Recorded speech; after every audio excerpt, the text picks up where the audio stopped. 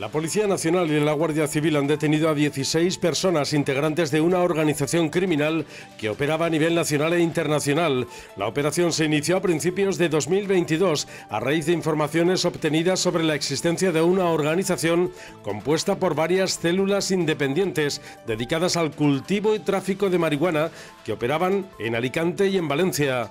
Las investigaciones desvelaron el empleo de estructuras comerciales ficticias para simular el modus operandi y los ingresos obtenidos por algunos de los objetivos identificados. De hecho, el modus operandi era similar en las células detectadas, empleando a extranjeros como arrendatarios de los chalets o inmuebles, donde posteriormente se realizaba el cultivo indoor o a través de terceros en empresas pantalla que subarrendaban los inmuebles realizando pagos por adelantado en efectivo y buscando ubicaciones que pasaban desapercibidas para desarrollar la actividad delictiva del cultivo y tráfico de marihuana.